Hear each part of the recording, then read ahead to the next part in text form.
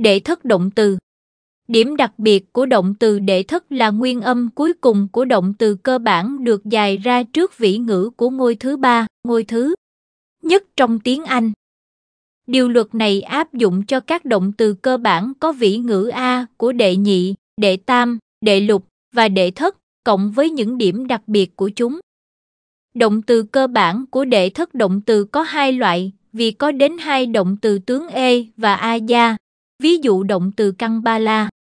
Có hai động từ cơ bản là ba lê và ba la gia. Chúng ta theo dõi cách chia động từ ba la. Nghĩa hộ trì, cai trị, nhu sau.